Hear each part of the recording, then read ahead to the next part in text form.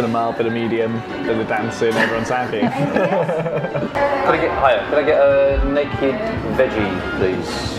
I'm gonna have a veggie nudie as well. Good man. Do you reckon? Oh, I'm a fatty.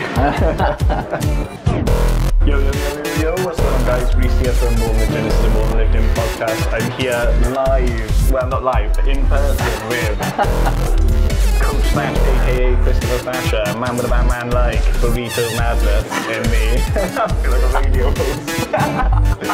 yeah, we're basically sitting here, we're having a burrito, a little New Year's burrito for sharing, sharing burritos. And uh, today is very, very authentic episode with Chris Pinnock. We're basically just having a bit of lunch together. We've had a little meet up, had a little chat about some of the stuff we want to be doing in the new year for you guys. And uh, so we thought we'd do a podcast like this. So excuse us, we are technically eating right now, but I promise I'll cut it out of the recording as much as possible. You might hear some slurping, trumping, you know. but How are you enjoying your burrito? I haven't started yet. I've just been Okay. doing the intro. so, Chris, do you want to tell us a little bit about what you've been up to so I can eat?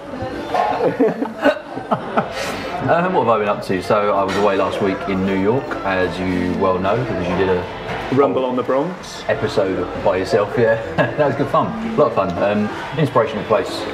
Um, New York always kind of come back pretty pumped up from being there.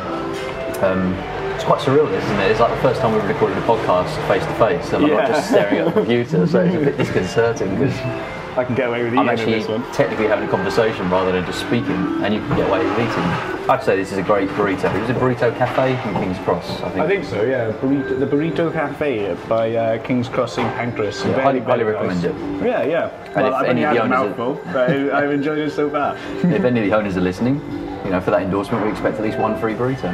Each. Each. Each, each. Yeah, that's the minimum you can ask for, isn't it, really? But yeah, no, so um, I was out in New York, enjoyed that immensely. Didn't really get a lot of training done between Christmas and New Year because of that, because, you know, we were walking every day, so that was great. I mean, I've just started using a fitness tracker, a uh, Garmin Vivosmart HR Plus, which is like one of these GPS trackers, which is really cool, but at my wrist. Oh, right. Okay, yeah. Yeah, so just you know, if you go Like running or walking, you can yeah, it's like Well, it is, a it is a Fitbit, There you go, similar sort of thing. Uh, this has got built-in GPS though, so you can track where you've walked, where you've run. Obviously, it gives you basic stuff like step count, which Yeah. is really, really cool. Clocking in like something like 25,000 steps a day. That's what I, I do about that as well. It's, it's mad when you think about it because like one of the goals it starts at like 5,000 for a Fitbit. I think 5,000 steps, bloody hell, it's like an hour.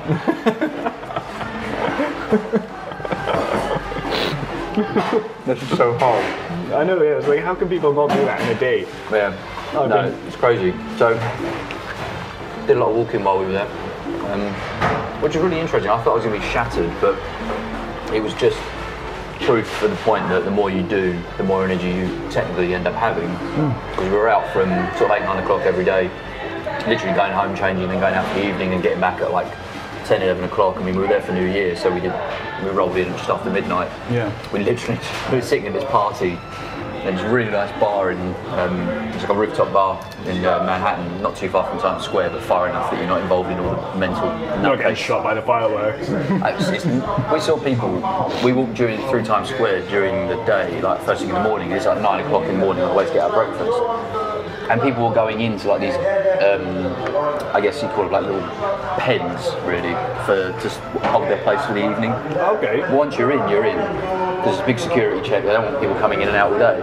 So I really wanted to go back and ask someone like, "What are you going to do about going to the toilet?" Like, because you can bring food in with you, that's fine.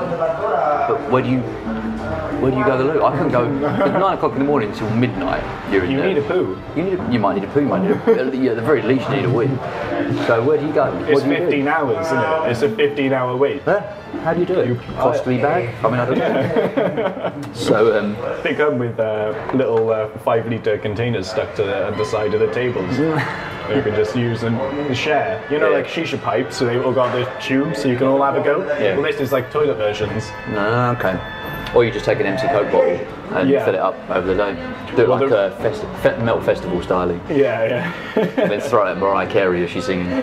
yeah That was a huge controversy that she performed, and everyone's like, "Oh, it's Mariah. You know, it's going to be like a big part of her like comeback opportunity, singing in Times Square at New Year." And it completely bombed, like her backing track.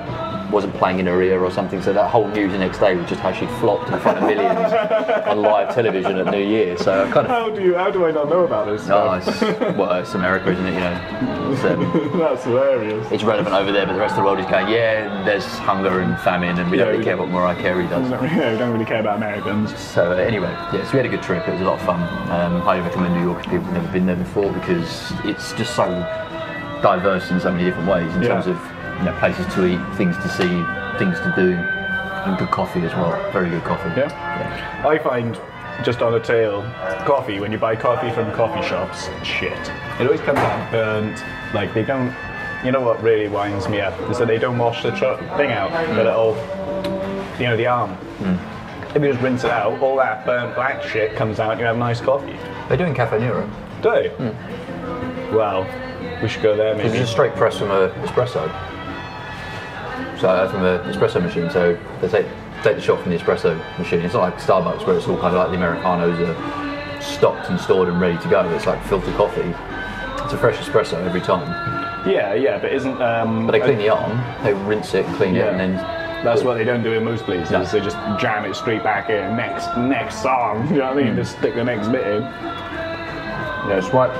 To be honest, Caffè Nero is about one of the only places I will actually go for coffee that is a chain because I think it's the best coffee, bar none. Doesn't give you that horrible caffeine spike where you're buzzing off your nut for about three hours and crashing down the other side. Tastes better. As long as you ask for it, you know, not to be too diluted. I'm, I'm that guy that's always like, just less water. The poor baristas coming over like, is that enough water? I'm like, just a little bit less. A little bit less. Just a little bit less. Yeah, Take the one, out. The one where I live, I now walk in and the guy just looks at me and goes, the usual, and I'm like, oh, I'm that guy. I have a usual. But that's okay, Hmm. because now they know how you like it and they do it like that. Yeah, So having a usual is actually pretty good. yeah. As long as they do it right, I'm happy. Then I've got to sit there and explain how much exactly Excuse how me, much I guys. I asked for a usual, and you gave me a regular. right? They are two different things. There's this old uh, this place I used to go out with. Uh, my mate I used to work in a little cocktail bar, and I, I had my own cocktail in there because I just used to go in and order off the menu. I'd be like, I want something with this and this and this in. Like, the guys would just make it up. So in the end, I just had my own cocktail. It was called a super fruity double juicy, and uh, it was delicious. It was lovely, Very nice. and I, So- I haven't had in ages. But yeah, so what have I been up to? I've, Yeah. I've, I've been training loads, actually. Been training more than I thought I was going to, less on the planche than I thought I was going to. I've actually been going down to the gym quite a lot mm. and doing my ring stuff on the cables, and I've been doing lots of handstands. I've been, yeah. so no planching. Well, I have been doing a little bit of planching, but not. I haven't been um, uh, because I've been going down the gym. I, actually, I can't. When I try and planch at home, obviously, it's al- already suffering. So I get frustrated with it, and I, I don't bother. Like I'll, I'll end up. Oh, I've trained, so now I can't really do too heavy planche training because I've been just going super dangerous with my workout. So I'll just ruin myself. And I make sure like I'm super setting everything or try setting everything, and I, there's no break. And I've been going in there and really just fucking 120% smash it out, and I've come out feeling great. And uh, I've been doing stuff countering it with the handstands. So like we were talking about before when we were saying about handstands and deadlifts and how they are or aren't a good idea. Yeah. I've been doing it with everything. So whatever I do, I'll superset with like handstands, and it's been really good. I've got these 20 kilo bar dumbbells I've spoken to you about before. I've been using, and now it's people are kind of just the same old people who kind of turn up in the day. Are used to seeing me there doing handstands now, so it's not weird anymore, and it's uh, it's okay. Yeah. Cool. I've done a couple of really nice planches though. Yeah. I've, my, my, my form has improved massively. Got right back into it, and I can get my I, I can get into position. But the, but the problem I've been struggling with is being being fresh and then training the planche. Yeah. Which it, it sucks because that was what in going into Christmas I was like, I'm gonna fix my planche and I'm gonna be happy. what happened? I am fixed my planche and I'm miserable, Chris. I'm miserable. Yeah, it's frustrating. It's- When, when you kind of set an expectation for yourself, don't you? And when you, it's not where you want it to be, then ultimately, like any goal, you Yeah. get frustrated. I think the important thing, I mean, we've done, we talked about goal setting and stuff like that in the past, and I think it warrants a, a massive conversation. But the thing I'm always trying to remind myself of, clients of, my partner, my family, like anyone I meet along the way, is that when it comes to goal setting, a, a beautiful part of setting a target for yourself is that you set it high because then you aspire, you know, it's kind of aim for the stars and reach the moon type thing. Yeah. That even if you fall short, you're still further ahead than if you would have been if you hadn't set that goal. Yeah. So when you get to that point where you're like, I wanted to have achieved this by this point, the reality for most people is they get to that point and they've not quite got where they wanted. But they're like right on the edge of it. Yeah, they're right on the edge of it, but they then end up beating themselves up or chucking the towel in or whatever. Yeah. And being really horrible to they don't themselves. do it anymore. Because yeah, because they didn't reach the point that they set for themselves. And it's like, well, so I think You're still the- the eighty percent of the way there. Exactly. So the most important thing, like with anything, it's like when you do a review of any anything in your life, is to look on, look, and really focus your energy on the things that you have accomplished rather than those that you haven't. So what did improved throughout this process? What did I learn throughout the process? How did I get better? Because if I followed at least some of it and achieved, as you say, 80% of it, then I've achieved something. I'm better than I was before, you know, and that's ultimately the goal that anyone should be aspiring to have in anything they're doing in their life. If Yeah. you're better than when you started the process. The worst part of it, or the worst thing you can do, is to beat yourself up for not quite hitting the absolute goal that you set for yourself. And it's a two-way process in that when you set the goal, set it high, and understand that there's always a chance you might not make that. If you make it, fantastic, you know, because you set it high, you set yourself a high standard And you're fucking smashing it, so well done. completely. But also make it, you know, as I always say, with any goal, make it smart, you know, specific, measurable, attainable, realistic, and time-oriented. There's Yeah. definitive timeline that Yeah. you're working on. It's not just I want to do a handstand one day. Yeah. You know, Oh, 20 yeah. years later, you might do a handstand. would be nice. That's Yeah. our goal. A handstand would be nice. Is not a I goal. want to be able to do a handstand by this point in time. Yeah. So it's very important to set, um, set I think a big goal. Make sure you at least feel it's attainable. Because there's no point setting something like saying by this time next month I want to, I don't know, Oh, to do a triple backflip off the floor. exactly, perfect. I want to do a triple backflip off the floor. I don't, you can't set that for yourself because you know full well you've done nothing to build up to that hmm. point. So it's a big attainable goal, and you can pat yourself on the back for getting even some of the way there because it's still a, a huge macro goal to have. But But, you're going to fall quite a way, fall quite Yeah. a way short of that. Yeah, yeah. So I think really what you need to do is set something that is attainable, but it is still a big goal. It is still something that you think, okay, well, I, can, I know I can do that in that time frame, but it is going to be a big ask as well. It's a, it's quite a big thing to set for myself. Yeah. Then if you get there, as I say, fantastic. You've set your focus on it. You've set your intentions on it. You've made the plan for the process to get there. If you get there, great. If not, assess how far short you fell Yeah. And then review and congratulate on the things that you actually achieved in the process. Yeah, You know, yeah. and it's a great way of looking at things because then you you're never scared about setting goals. Because I think one of the big reasons people go through a process, whether it's in their health, their business, their life in general, they set goals. As soon as they fall short in a couple, they stop setting goals. They Yeah. stop setting targets. I've fallen victim to that We all so have. many times. We all have. So many times. Hmm. One thing I have been working on is um, when I'm handstands. And just kind of as it's just started happening, it's not anything intentional at all. But my straddle has got a lot, lot better from just doing so many of them when I'm super fatigued. Like, like I can't help but do a negative press. You know, you know what I mean? That's how fucked I am. And um, but I'll get one, I'll pin it, I'll get my straddle nice, and I've been working and working on leaning over that one side and turning your hips right so your your legs are sticking out at the right angle so you can get into that position. And um, that is something I know well, I don't. The thing about it is, I don't know how far away it is.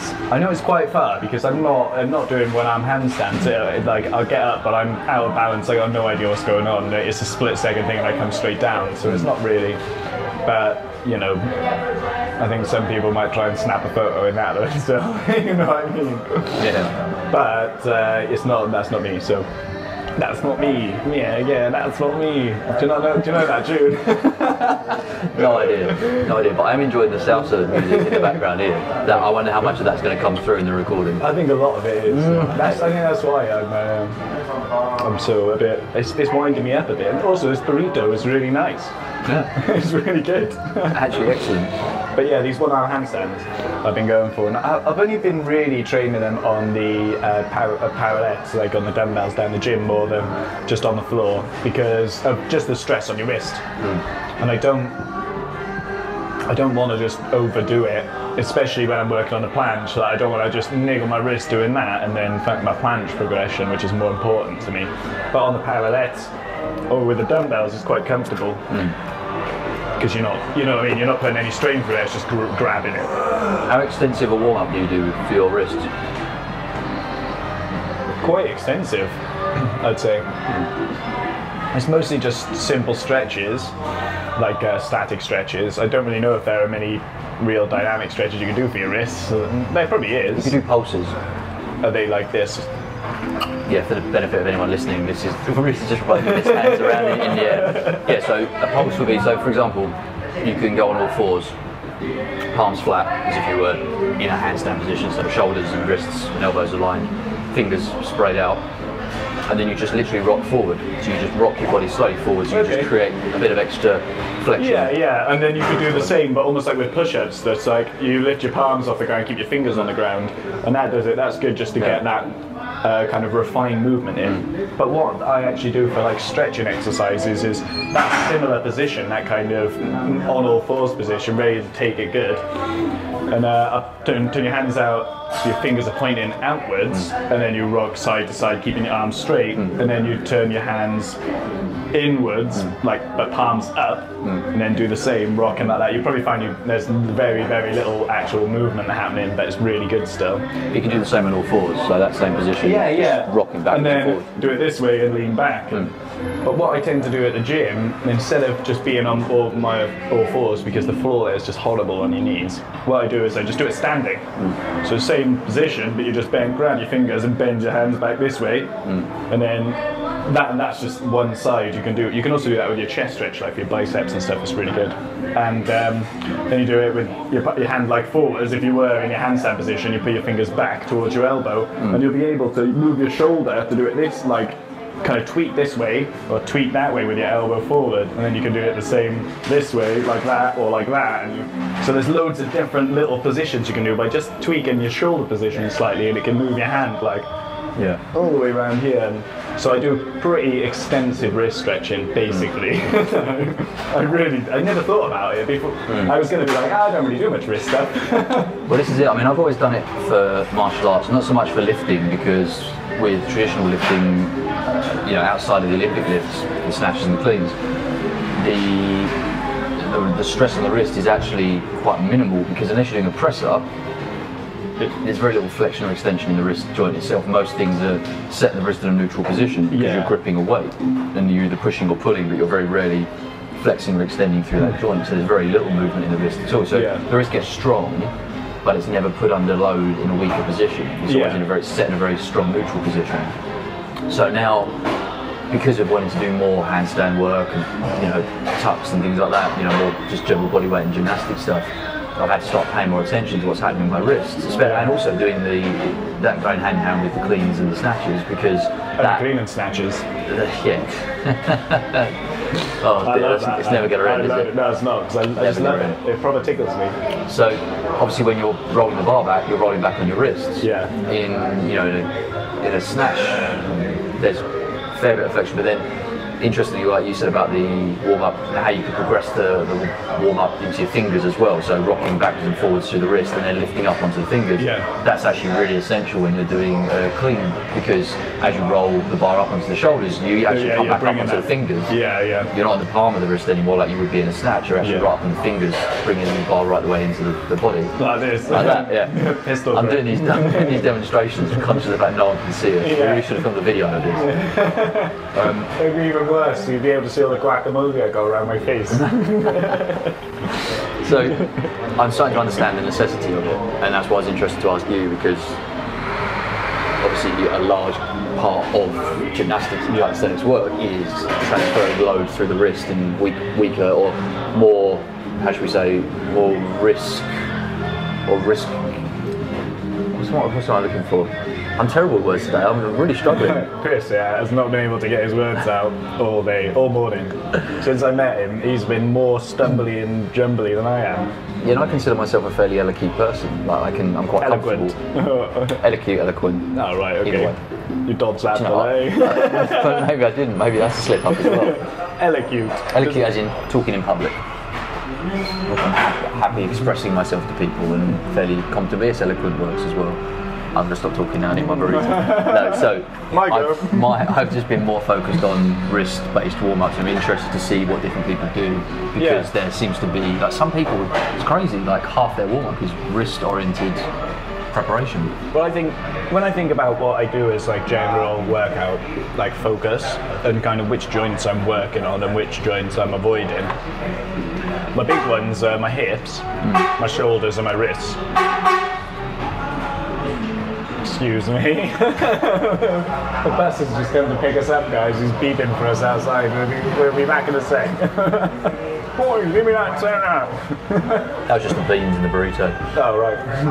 yeah. So um, I forgot what I was saying. What was I talking about? You were saying about we're talking about wrist preparation.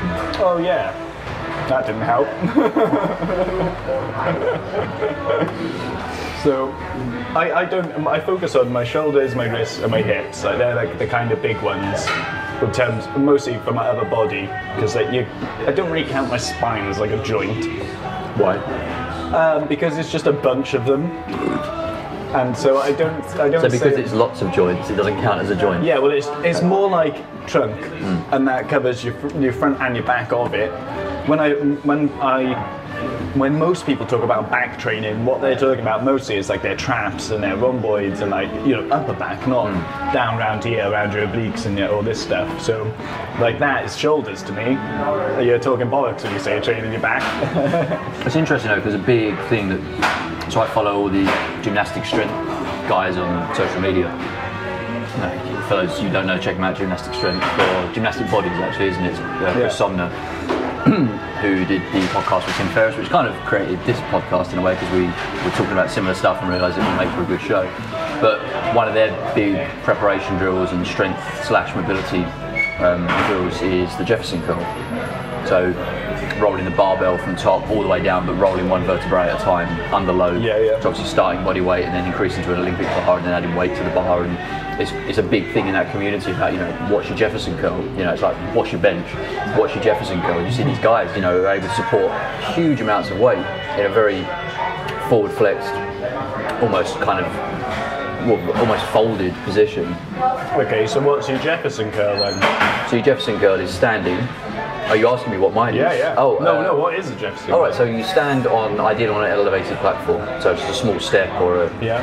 or a platform, and with an Olympic bar held in front of you, you so hands just outside the thighs, so about shoulder width Yeah. apart. You just let the whole body roll forward, like almost focusing on one vertebrae at a time. So you tuck the head, Yeah, and then, then you start go to roll the upper back down, down, down. Yeah, And you're just essentially running the bar down your legs. you are, and then you're trying to get to a position, ideally, eventually, if you can't initially with your hamstring length, get to a position where your wrists are kind of in line or past your On your toes. toes, yeah, yeah. So obviously they've gone to that deficit. Then from that position, just hold that for a few seconds just to feel the stretch, and then roll it back up Yeah. again, one vertebrae at a time. So when you're talking about multiple joints, obviously that's a great way of really feeling into the back. Yeah, yeah. So then beyond that, you just progress it quite simply by doing it for more reps and then obviously increasing the load as well. So volume and load are the kind of two real metrics you can change within that. Yeah. So you just see guys adding 5, 10, 20 kilos each side. You know, I think most of the scenes probably around about, I guess, like 70 or 80 kilos. I'm Okay, sure there are people that do more that, but for that, So you're the- essentially like Jefferson curling your body weight Yeah. times two. exactly. So for the Well, wait, benefit no, of that's warm up, you don't. just because you're only loading that, and you know, it's not like you're loading your body weight on that. You're just essentially doing the bend. Yeah. And you're just taking a body weight. Yeah. But it's predominantly a warm-up drill. It's not like a max strength. I don't, at least I don't think many people use it for max strength. I don't wrong, but- imagine it's that safe to. When I go to the chiropractor, I'm trying to bend my back the other way because it's too bent forward. Mm. And like um, I'm, I'm not saying that that's a bad idea. It's, it's that'll do massive things for like the strength and control of like manipulating that, that load through your back across your back, and it'll stop you getting more injured when you do stuff like deadlifts badly because it'll kind of bring in that support and it'll make you. Because one of the big things about gymnastic bodies that he talks about is not being in like a. Um, like a neutral spine position as being you're either hollow body or hollow back. Yeah, and it's true. Like it's uh, you, when you're doing stuff, especially with gymnastics, it's one or the other. When you're swinging forward, you're hollow body. When you're swinging through, you're hollow back. Do you know what I mean? So it's it continuous, and it, that is massive. Like to be able to um, to to be strong in those positions. Sorry. So uh, that'd be great, but I've never done any Jefferson curls or stuff like that. What I do, I, I do like that kind of bend, but I just do it like kind of body weight, and I'll just start on my thighs, and I'll just roll all the way down, or roll all the way back, and then I like usually mix that with some like cobras and some downward dog hmm. type shoulder to shoulder work as well. So I guess I do do that kind of stuff. Yeah, but I think the movement itself is fine because it is a natural movement. You know, bend down, touch your toes. It's hmm. just doing it in a controlled, conscious way. Hmm. Then all that's happened is that people who, you know, particularly high-level athletes, it's certainly, as far as I'm aware, not what you consider a foundational movement because it presupposes some degree of postural strength and Yeah, balance in advance of doing it. Because Yeah. you wouldn't have someone who has a rigidly kyphotic posture, i.e., they're permanently hollow-bodied, because that's not through choice. That's through just a postural misalignment Yeah, and yeah. you know, the wrong things being tight and the wrong things being weak and they're being very poor um, anterior to posterior muscular ratios. Yeah. So it does, as I say, it presupposes you're, you have a certain level of strength to a certain point. You then, it's up to you how you then progress it beyond that point. You know, it's your choice to say, right, I either want to just do this purely for a few reps as a warm up, or I actually want to really test myself and progress on it. But again, keeping the volume low relative to the load Yeah. that you're actually adding to it. So if you're putting more weight onto it, likewise with any strength work, the reps are going to go down. Equally, if you're just doing it body weight with some dumbbells or with just a straight barbell, you're going to be able to do more reps and Yeah, build up yeah. the volume, you know, the endurance aspect, obviously the heat in the body relevant to whatever drills you're going to be doing thereafter. I think it's really interesting. I might try out some uh, some loaded Jefferson curls.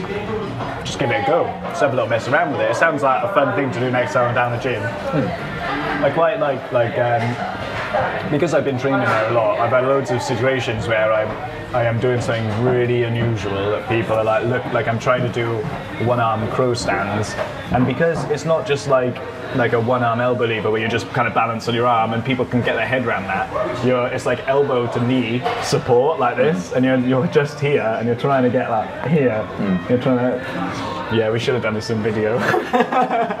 Just for anyone listening, if you could see what Rhys is doing now in the middle of the burrito here. shop. it's like he's, you're almost doing time with the music, to be fair. Oh, that's what I was going for. I was like, um, one, two, three, and a two, two, three, and a four, two, three, and a, Oh. you, you wouldn't realise We'll I was camera any next time. musically inclined at all, would you? We're definitely bringing a camera next time. yeah, yeah, yeah. We should. you can just see us munching. But uh, that would be really cool actually to do. I'm gonna start doing some Jefferson curls. That's really interesting. So, just as a, an aside, because when we spoke about this episode, I said we maybe let's touch on a bit of nutrition stuff just for fun. And as we're sitting and eating lunch at the moment, it seems quite appropriate. Yeah, yeah. How was your Christmas? Lots of chocolate?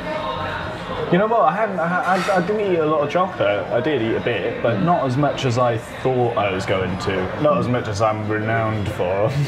Because I think it's really important. Uh, so I want more people to hear about is people that are putting themselves on a pedestal saying, I'm a coach, you know, I'm someone that pushes my body, I'm someone that's pretty dialed in on my health and fitness, but I also do eat biscuits and cakes. Oh yeah, one thing that I, uh, I enjoy do I enjoy food. is I, I never hold myself back. If I want something, I just have it because I think overall I, I'm quite disciplined in making generally good decisions. Yeah. And that's like, um, this, this is how I use the 80 20 rule 80% good decisions, so I can make 20% bad ones, or I can, like, not wrong decisions or bad, like, but not necessarily the beneficial one. Like, so I might go out for a drink or I might go whatever, you know. I might eat a whole pack of Reese's cups, because God knows I fucking love them. I, I do love Is that them. because they're called Reese's as well? No. Do you feel some degree of Um, ownership on them? I do a little bit, but they started wrong. So if anything, I'm a bit offended by that. Uh, That's it. That's that's you go into like anywhere in the states. It's just Reese's pieces, Reese's stuff everywhere. It's crazy. It's Maybe not- we should do a that- workshop in the US. Maybe we should. They're not even that nice, really. I mean, It's just peanut butter and chocolate. It's not. It's nothing groundbreaking. but there's something about it. I just need to stick inside me. the problem. Just gonna let that one hang there. The thing, um, the thing that, that kills me is that I'm like myself and my girlfriend Rebecca. We go to so many like healthy cafes and bakeries and places like that. I mean, one of our key things in New York was to find all these sort of vegan, um, dairy-free, gluten-free type Yeah, bakery yeah. places. There's loads of them. You know, it's huge and they're amazing. Like it tastes like the brownies and the muffins, and they taste so much better. And they some of them are like zero sugar. You know, it's just all naturally occurring fruit sugars, stuff like that. Yeah. They taste so good compared to like something you go and buy in a Starbucks, and you're like, oh my god, it just tastes cheap, and I paid the same amount as I could have got something that's fresh baked Yeah. this morning with better ingredients. You know, Buy a bunch of hippies. Exactly. You know, hippies cook really good stuff, very good brownies. Yeah, very Um, good brownies. So um, yeah, so we go out and do that sort of stuff. So you know, one and Re- Rebecca uh, cooks a ton of really nice stuff at home as well. She's a really good baker, and you know, sets herself up to be a healthy baker. Hopefully one day, like someone Yeah. that can share recipes, and she's experimenting all That's the time. awesome. It is amazing, and she'll always make stuff uh, that is similar, or she'll try and make stuff that's similar to things that are on the market. So she'll make like a chocolate and peanut cup type thing or bar or something. Yeah, yeah. And I eat that and I'm like, oh my good god, it's like maybe like raw nut butter, raw cacao, amazing stuff. Absolutely phenomenal. Let's go. And then I'll go and then I'll go and eat like a Reese's cup or a Snickers bar and I'm like, Yeah, that's so shit. disappointing. that's so you know, it's not worth the aggravation. I'd rather just wait till I get home and eat something that she's made. So not everyone's in that situation, but there are so many good options now. Just go, go, go to a major city like London, San Francisco, New York, LA, anywhere you think of, even you know in continental Europe, you can find more of these places Yeah, picking up now. And it's so much nicer than just kind of Yeah. going for those choices. But I take your point that if you really want one of those things, it's better to just have it and forego the stress of debating with yourself, should I, shouldn't I, should I, shouldn't I, should I, should just have it and accept that it's okay, you know, as long as you didn't nail a whole multi-pack of, I Yeah. know, well, what, what I've seen That's everywhere. one thing that I struggle, like I used to struggle a lot with, and that because I am a fucking gannet. I really am. Like you put something there and I would eat it all. Like today I'm not eating all this burrito because this is earlier than I've eaten in like nine months. All right. I've never eaten this early. My- what my time first- is it? It's ten to one. No way. Do you really not eat until like three o'clock? I really don't eat till like three o'clock. it's crazy. Then you it? don't get up most days until late if you're working late. If I work late, yeah, I won't get up to like ten. But um, Even then, I don't know if I could go the first four five hours, without. Five hours, yeah. And I actually think about that, and that's really not that long. Yeah. Because if you like, when I used to get work up here, like doing the engineering, I was up at five, half five, and I, I'd be at work at eight. So that's three hours straight Mm. away, and then you think when you've kind of been at work for an hour, you kind of you want to eat, don't you? Mm. So I think I've always it's not that crazy, it's not that radical, No, but it works for you. yeah, and it's quite easy to go from then like another two or three hours without eating. So I'll have like a coffee or something, and that's why in, it, like intermittent fasting quite works for me because I can I can in, what's it called? I can let loose my gannet monkey brain in the evenings when like I Take the monkey for a walk. I need to, yeah, you know, get him on a chain, walk around. That was brilliant. mate. I love your fucking monkey analogy. oh, you've made the funniest things on this podcast. You know that. I doubt that. And you're like, oh yeah, you know, subscribe to us. It's all very anonymous. We're not gonna hug you. I'm not gonna hug you and kiss you. I love that. Yeah. I am a veritable comedian. yeah, yeah. No one knows about it because I'm there shouting at them all the time. Yeah. Like, fucking Rhys, shut up. Yeah. Let's listen to Chris. Chris might say something funny. Be quiet. Yeah, quiet. Yeah. So, eating. Yeah. So Not till three o'clock. Yeah, but look, that, that's great because that's it clearly works for you. yeah.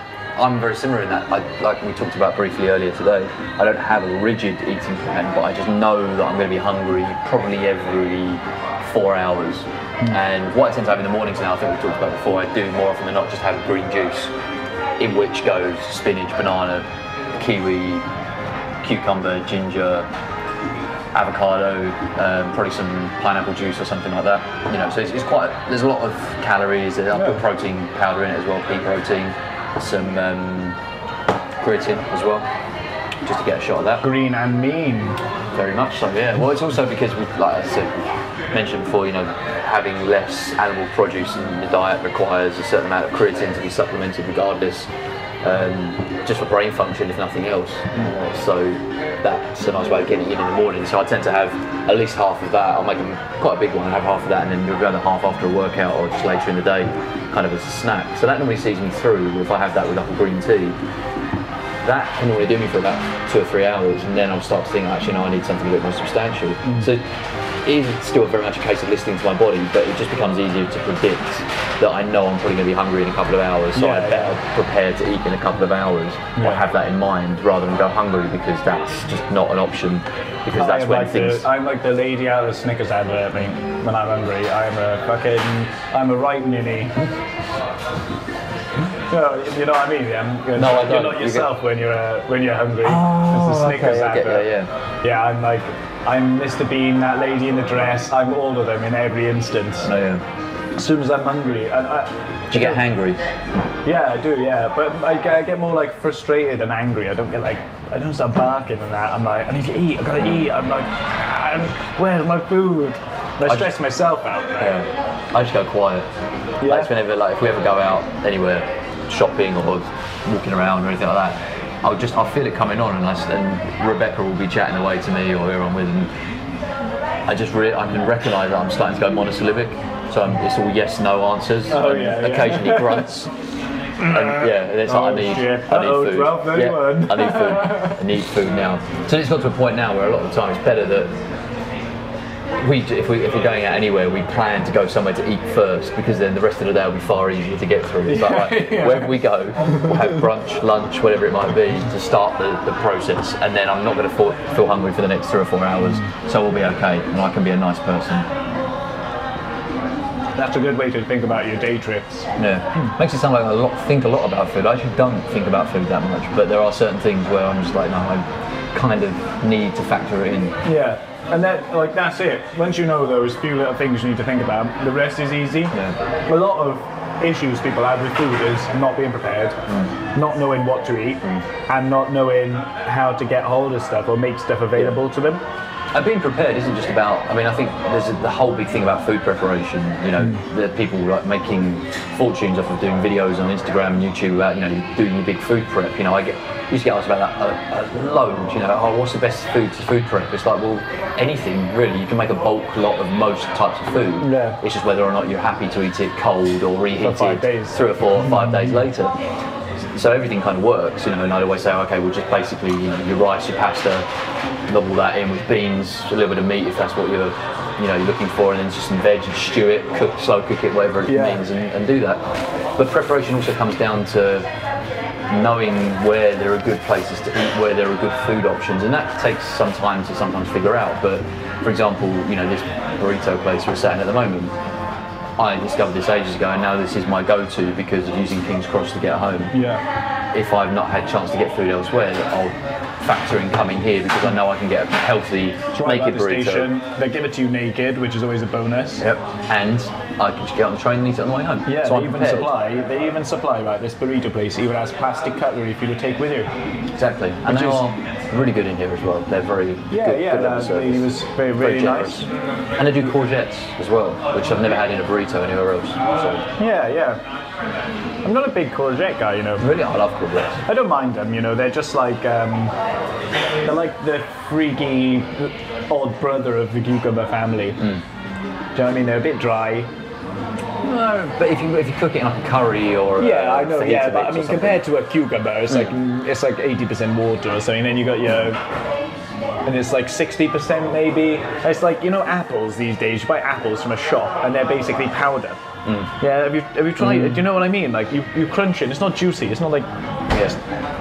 not how they used to be. They're like dry. Yeah, that's because that's because of the storage process, isn't it? When it's being shipped and that's probably lived in a fridge Yeah. for three months before it's actually got into the supermarket. Yeah. So you know that's you're just like- sto- that's more storage than the actual quality of the food from source necessarily. But yeah, you're you're 100 percent right. You know there are certain things that you just do do seem to taste different now than what they used to. Yeah. It is, it is a big switch. I Mostly think. fruit. And Yeah. veg. I find unless you go to like Lidl or somewhere like that, where they're getting that organic stuff from Europe, Mm. Yeah. and then you, you, you get a good deal. You get bloody massive vegetables you can knock someone out with. They're huge. They are freakish. yeah. Which I don't know how you can call them organic because that's clearly like some sort of GMO stuff going on. No, I don't think it is. Really? Because you look at them, they're all different sizes, they're all different shapes. One's got an extra thumb. You know what I mean? It's like they're all there.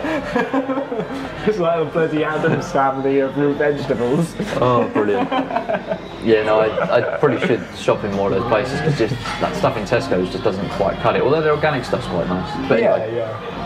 Going back to where we started this conversation, the kind of whole 80-20 thing. And sorry, I'll actually just finishing off on that point. This preparation is about knowing where you can get stuff on the go as well as preparing Yeah. stuff ready for yourself I, I as well. do like meal prep stuff. I don't worry about any of that. Mm. I know what I got available to me. I know kind of what I eat in my rough patterns. Like I said, I'm not fixed like you are, like you said. I'm not like strict. I'm not like I, I eat. I eat mostly good stuff. Like I'm vegetarian, so most of the food I put in my body is pretty like thumbs up. Like me on Facebook, heart, you smiley face away. And it's only very rarely that I Wonky- have wonky smile three emoji. packs of Reese's Cups, sad cry face one. You know what I mean? but even then, I'm kind of still a thumbs up, happy face heart. Oh dear, where are we going? Anyway, um, So, so. I, no, I, I completely agree with you. And what's interesting, something you said earlier on about doing the 80-20 Hmm. approach, which you know we've mentioned before, and I, I find that a great way to to live in general. You know, 20% of your results, sorry, 80% of your results come from 20% of your work, or splitting up. You know, 80% of the time I'm on point with everything. 20% of the time I'm just kind of quite happy to be fairly casual. Yeah. What I tend to find with A food, casual explorer. Indeed. What I tend to find with food is I set myself an 80-20 rule. So I'm like, okay, 20% of the food may have, in my case, some animal produce in it. There may be a little bit of meat or fish. There may be some sugar. All the things that I would, in an ideal world, I'd probably avoid 100% of the time. Yeah. But I accept that living in a modern society, having a busy vary, life, yeah. you know, somewhere you've got to allow yourself some flexibility. I set that 80-20. What I find quite interesting is that I ends up probably being actually 90 10. Yeah. Actually ends up being higher because of being more relaxed with myself and allowing it. Somehow it still comes in pretty much almost on point to where I'd like it to be anyway, which I always find quite fascinating. Whereas when you go more stringent and say it has to be 80 20, it's almost like you collapse. Once you once you get strict with stuff, as soon as you slip this all out the window and you feel like you failed and you feel Yeah. like, oh my god, it's a process, right? I, I know this from like quitting smoking. Quit smoking plenty of times, started smoking plenty of times. And it's not like um, it's not like I quit, I never smoke again because like I know I, if I have a couple of drinks, if I'm out with my mates, they're all having a couple of fags. I'll probably they'll probably have one by the end of the night, or I'll have a little bit on one of theirs, and I think fuck, I'll just have a whole one. I'm not going to suck on something that you've had your lips and tongue and bloody probably snot round. So you know what I mean. So like, I may maybe end up a fag like um, if I go out, and I'm not going to beat myself. I don't start smoking again for that. Hmm. I don't really crave it. I've got my little e-cigarette, which I, it's more of a habitual thing. There's no nicotine in it or nothing like. It's just a bad habit, hmm. and it's something to do when I'm walking around. Like, there's no justification for having it whatsoever. But if I go out and I have a fag, like I'll have this for a couple of days, just because I know it'll trigger all those habits again because it, that's literally what it is. And then so for a couple of days after, then I'll chill out. I'll have the vape. You know, I'll, I'll hit it a bit. I'm not um, I'm not keen on it particularly. I, I tend to get nice fruity flavors because if I'm doing it, I want to enjoy the experience. But I also, in a, in a, by the time a couple of days has gone round, I'm looking at it going, I'm going back down a hole here. Like I'm not actually getting any benefit, or like all I'm doing is re, uh, like restructuring this habit, hmm. the smoking habit, and I don't need it. Hmm. So like I naturally kind of weigh myself off it because I'm not smoking, so then why am I doing that now then? Like, hmm. ju- and it helps with that whole process. But at the same time, it means when I do come to have a fag, I'm not beating myself up in the morning going, oh, I had a fucking fag. I feel shit. My lungs notice it immediately. Like, it's mad that you notice that kind of shit because like, I smoked for years and years and years, like, just no worries. And um, yeah, yeah, now, uh, now I've been able to just like shake it off a couple times and I've, like I say, I've quit and I come back to it. But I now use that all those little attempts, all those little like slip ups and everything as a reinforcement to be like it's a decision in the moment, and that's it. I've never 100% quit smoking because there's going to be a time where Chris's mate Dave's going to go, oh, are you still on a fag? And I'm going to go, oh, yeah, go then. And that's one of my 20. And I know that like that's one of my 20, and I kind of I won't. I, I won't even punish myself, and I won't think, "Oh, I shouldn't have that." I hmm. won't feel guilty. The only time I do feel a bit guilty of that, or like if I'm having a big pack of Reese's cups, is if someone's with me who I think they won't think that this is like a professional thing, but then at the same time, I, this is my internal battle with myself. I'm like, oh, look, do you see me on a fag, you know, as a personal trainer? Like, it's suddenly I don't look that professional. And I mean, I think, fuck it, like, I know that I am healthier than most fucking people out there, like guarantee. And I know that I am allowing this. I know this is a disciplined choice hmm. rather than just going, yeah, let's go and get fucked up. because I'm not, I don't need it. I don't need to be like that. And even when I do, I get a bit bored of it. Yeah. So like, I think just having that easy choice, smoking's really good for learning to discipline yourself because you can you can go right. Okay, so this is my 20. I'll have a fag today, and then I know I'll stick to that, and I'll be all right. Don't beat myself up for it. Don't beat myself up for nothing. I'll be like, I'll have it. And if I have, if I if it's three weeks in and I've realised every week I've ended up having a fag, then I'll be like, that red flags it for me, and I'll know because there'll be a time when I'm sitting down and I think, oh shit, I've had like four fags this week or whatever, and I'll be like. Right, strict up then, and I'll just strict up for a week, and then it, uh, I can relax again because I don't worry about it anymore. It's just like it's an ongoing process. It's you're never complete. No one's ever perfect. Do you know what I mean? Like that guy, he ain't perfect. That guy down there, he's not perfect. There are a lot of examples. Yeah, no, I, I completely agree, and I could add more to that, but I think we're kind of hit the nail on the I head. ran around with it a lot. Like I did. No, but it was fine. It was good. I, I think you drilled the point home pretty well because there is no 100%. You know, and, and look, there are those people in a particular discipline. You know, if you're talking David Beckham being out on the football pitch until you know midnight every night when he was a kid, trying to bend a ball around a wall or hit a certain point in the goal or hit the crossbar and doing all those things. In terms of his effort and his Yeah. approach and his discipline, that was 100%. He was giving Yeah, but it, the result isn't 100%. You're not getting 100% gains every time he goes out and does his free kick. No, but his, his, his approach and his, his effort there was, was 100%. Yeah, so you, yeah. you, but you'll get outliers within a very small space, but the rest of other aspects of his life was probably not 100%. Yeah. As a child, as an adult, whatever. No one is 100% in every facet of their life. No one is living the purest possible lifestyle you could ever imagine because there will be some, just by virtue of being human, there is Yeah. some fallibility somewhere in the process. Yeah, yeah. And that's okay. That's Yeah, cool. yeah, Like, accept worry. that. You know, Don't part of being human is to be imperfect. We're not, you know, if we were perfect, we wouldn't die. You know, you know, we we continue to regenerate cells at the same rate we do when we're children, and we'd be young forever, and you know, we'd stop aging at 25. Yeah, and they're be- the elves. Exactly. You know, we would be elves, and we're not elves. We're humans. We're people. So um, yeah, I think that's just something you have to look at in every aspect of your life, whether it's your training, whether it's your diet, whether it's your relationships. Doesn't matter. Whether it's your work. You know, this is something I'm dealing with a lot at the moment. I have to kind of forgive myself a little bit every day for not quite achieving. Like we talked about at the beginning, it kind of brings it full circle a little bit. Yeah. The goals I set for that day. Yeah, not yeah. talking about the big macro goals, just the goals, the things I wanted to get accomplished that day. And I'm getting better at understanding what my limitations are in terms of the output I can make with work, with training, with everything else, and just being okay with, you know, I'm going to accomplish one very good thing in each of those areas every day, and then everything else just about falls in behind. But there's no point overstretching myself because I only end up disappointed.